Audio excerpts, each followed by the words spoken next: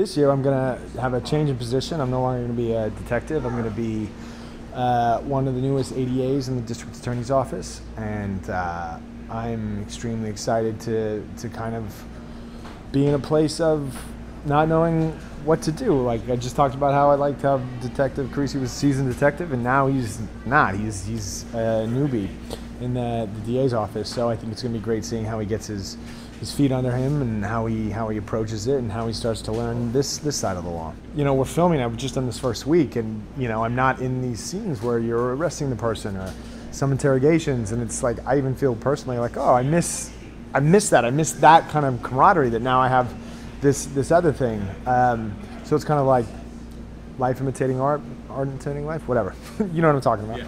Are you prepared for the, the kind of Benson glare though when, when you uh, you guys don't see eye to eye?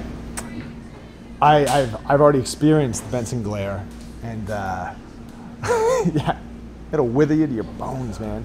Um, no, yeah, I think that's a really interesting element that, you know, clearly I was, I think Carisi always saw Benson is his, his mentor, and I think he still does in a lot of ways, but now he has a different mandate, and he has a different boss, and he needs, and there's different things that he needs for his, his new job um, that might not um, jive all the time with, with, with SVU. So I think that's going to be really interesting, and I'm, I can't wait to see how they write it.